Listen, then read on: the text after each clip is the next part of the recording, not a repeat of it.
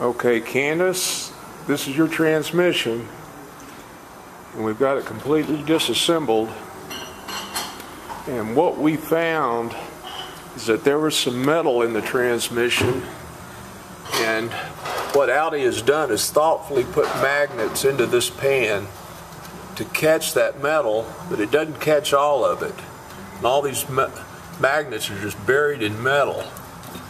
And what happens when it gets metaled up like that, it'll make electrical components like these solenoids that control the oil pressure. They're electromagnetic.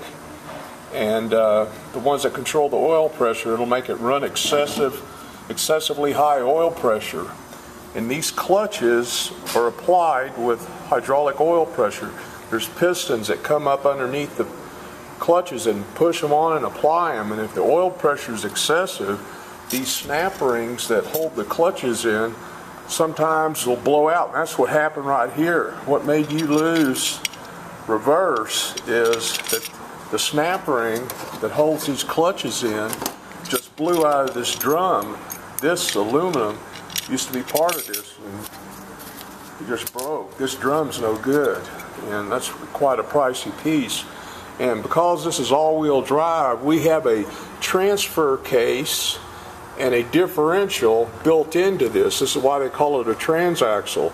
So we're rebuilding more than just a transmission. This is going to take a full rebuild because all the metal and aluminum is spread throughout and embedded itself in the friction linings. Um, also the torque converter which goes between the engine and the transmission that takes the place of a clutch if you had a stick shift shares the same fluid and it's all contaminated and it has to be replaced as well.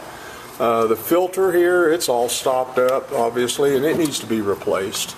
So we're going to end up uh, rebuilding the transmission, transfer case, and differential. Um, all parts and labor will be on an itemized estimate and you could get with a Rod on it as far as the price goes. Um, we're going to also have to flush your transmission cooler system because it's contaminated as well. Audi recommends to replace it, but we can save you about $800 by flushing it, and I'll show you how we do that in just a minute. But it'll come with a five-year, 100,000 mile warranty on the entire thing. Transmission, transfer case, differential, everything we do. Also, the axles that go to the front wheels on each side, uh, they got bad CV joints in them, so it's going to need two axles with it as well. And I'll show you that here in just a minute because I think your car is still up. But that's what it's going to need, and uh, we do appreciate your business, Candice. Thank you. Okay, this is our hot flush machine, and it's not hooked up to your car, but this is it's going to be, and this is just an example to show you how it works.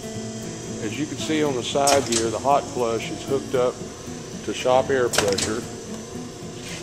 That runs over there to the lift. And then these hoses are hooked to the vehicle.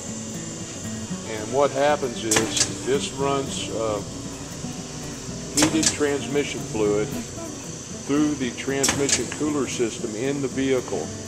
And what it does is this heated fluid gets up to about 190 degrees. Right now it's only at about 179 degrees and but it'll get up to 190 and we usually set the timer for three hours. This one is currently set for one hour.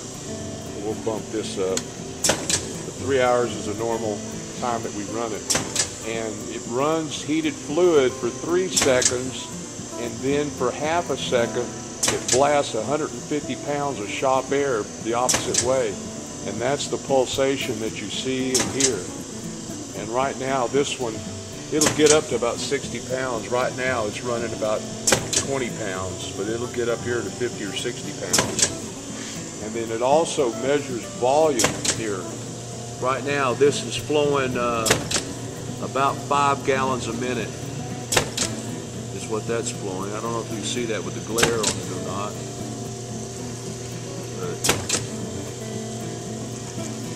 See if I get a better shot of that. Where that orange line is, that's right at five gallons a minute. And it's heated fluid and it, it gets all that metal and clutch debris out. And this is a state-of-the-art machine. I mean, it just doesn't get any better than that. But That's the hot flush machine, and that's what's going to be hooked up to your car to get all that contamination out of the cooler.